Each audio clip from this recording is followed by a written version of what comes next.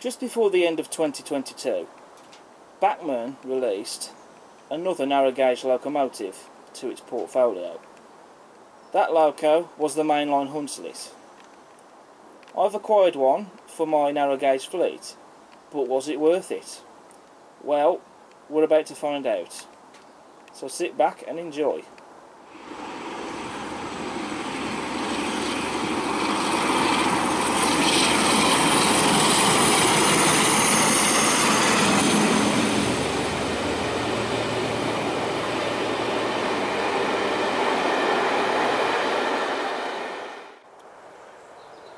Everyone, welcome back to the channel and you're joining me for my first review of 2023. So what better way than to kick off the year of reviews than by looking at something in 009 scale. And I'm going to be taking a look at one of Bachmann's narrow gauge mainline Hunslets. These were announced and released by Bachmann just before the end of 2022. And when these were announced I had to have one of these for the narrow gauge fleet. The one I've gone for is Charles in the Penrhyn Quarry Railway Line Black livery, which this is the light livery. And this has just arrived, and I've also got another 009 loco as well, along with this, which that shall be covered in a separate video. Today's video is all about this one. So we're going to get it open, and we're going to get down on the light and we're going to have a look at it.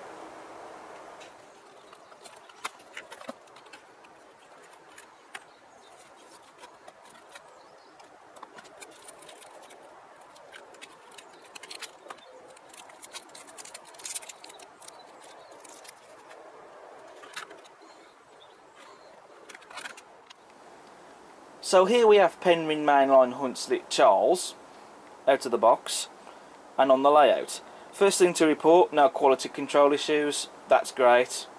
Because the last thing we want to see is having to return a model after spending regardless amount of money on said model.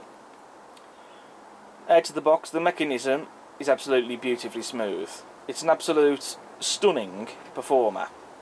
Also, this model comes with a flickering firebox, which is a first for ready to run narrow gauge locomotives. So that's also great to see. And I think it's a fantastic feature. Especially when you can catch a glimpse of that glowing firebox, it really does add something to the model. Just seems to give it more character and realism. So we'll make a start with the detail. First of all we have the buffer beam I know it doesn't have any buffers on the loco, but it is a buffer beam because this loco in real life does have a centre buffer. But Bachmann's put the coupling where it would be. You also get some nice rivet detail on the buffer beams as well. Then moving to the cylinders, you can see we do have some rivet detail, especially on the cylinder heads, and you can see the cylinder heads themselves.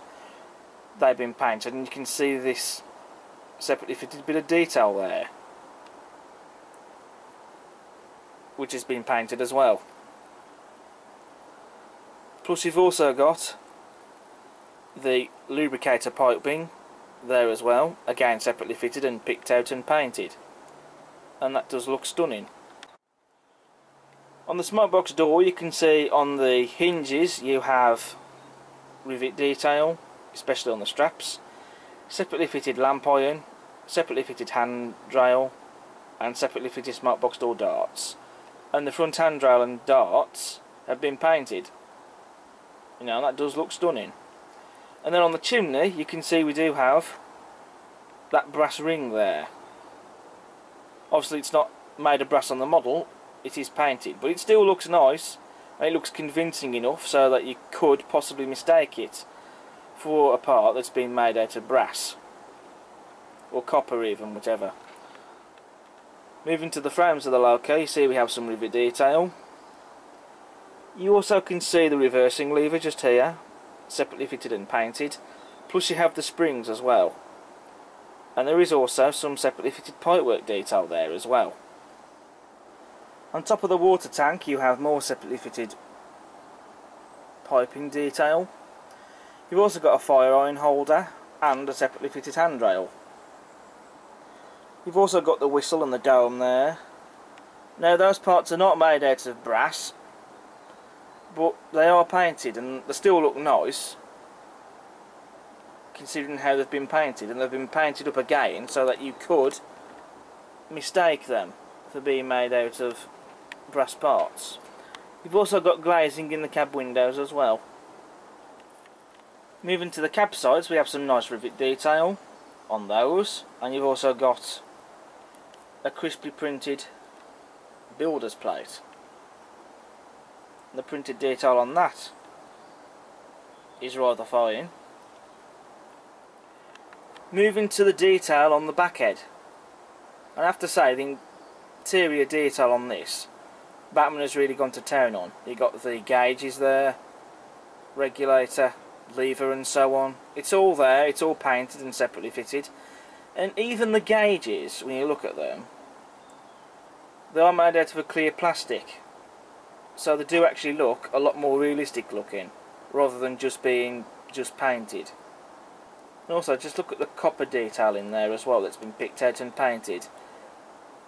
And again, that painted detail looks stunning. And also the interior of the cab, inside of the cab sides, has been painted cream, which I think looks fantastic. You also get the coal bunker as well in the loco, as per the prototype. Separate fitting, got some nice rivet detail on it, it's been painted. The bunker itself though, is empty, so I shall be fitting some real coal in there because otherwise it's just looked like it's going to be running around with an empty coal bunker in. Moving to the rear of the cab of the Loco, you can see we do have some nice rivet detail. We also have the glazing in the window portals as well. And also you can see the doors on the end of the cab. And those doors were used mainly for using the fire irons, either when on the move or when stationary. Moving to the livery application now. And I think the livery application is gorgeous. Correct shade of black, it's all been evenly painted. There's no blemishes or imperfections anywhere at all. And then you've got the blue and red lining, which I think really sets off this livery nicely. You know, it's all there. It's on the cylinders, on the loco frames, on the cab sides, tanks, on the rear cabs and so on. And the lining has just been so crisply and neatly applied, it's second to none. And it just looks lovely. And that's the reason why I chose this one, because it was the livery that stood out to me on this. Turning the loco around to the other side, you can see you do have these injector pipes on this side of the loco, as per the prototype.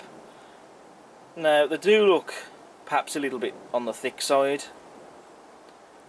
You know, perhaps they don't necessarily look as fine, but then, from what I have un understood and heard, I believe that they were made a little bit more thicker so that they had the durability. If that's the case, then that's understandable. But regardless, I don't think they really take away from the model. I don't think they detract from it. You know, I still think that they look lovely and I would rather that, that those details be there. And they're all separately fitted and painted as well, and the detail when you look at it, it's just fantastic. Of course, on both sides of the loco, you have crisply printed nameplates, which I will be fitting the etched ones on this loco. You also get etched builder's plates as well, so they'll be going on the loco as well. But the crisply printed ones do look nice. It has to be said that Bachmann really has captured the look of the mainline Hunslet superbly. Everywhere you look at it, they haven't got a single detail missed off or incorrect, as far as I'm concerned. It most definitely looks like a mainline Hunslet. I might as well quickly show you the accessory bags so in this one you have the etched builders and nameplates. And the detail on those looks stunning. And then in the other accessory bag you have a lamp which fits onto the front of the loco on the lamp iron and you have the coupling that has a bracket. So now that I've covered the loco in detail and had a look at the accessories as well, covered the running performance, I think what we need to do now is to get this loco running around the layout. So I'm going to leave you with a few shots of seeing this loco run around the layout so that you can see it performing on the layout and then I'll come on to my final conclusion for the model.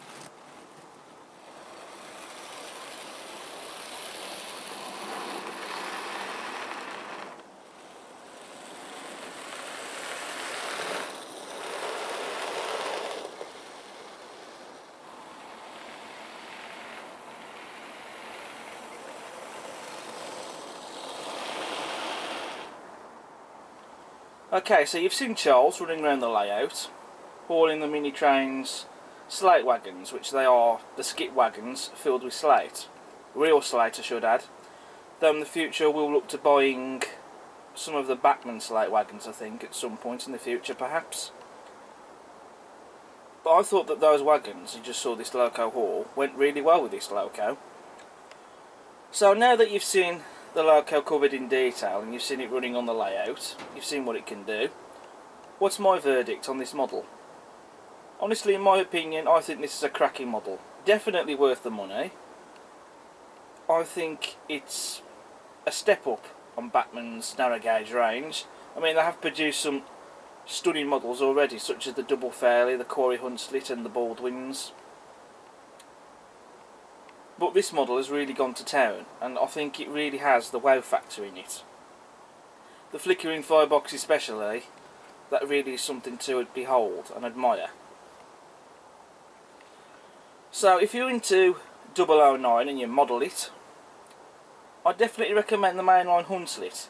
They've also brought out Linda as well, as a tender loco, as an 040, and I suspect that they'll probably produce it along with Blanche as a 240 as well with the tender at some point in the future possibly. But definitely recommended by me. Absolute stunning model. I'm glad I bought it and it will make a great addition to the narrow gauge fleet. So that's it then for my review of Bachmann's narrow gauge mainline Hunslet I hope you've enjoyed this review. If you like what you see subscribe to the channel. Smash the like button feel free to post a comment and after you watch this video why not check out all my other videos I've got on the channel. But until next time, take care. Bye for now. See you next time.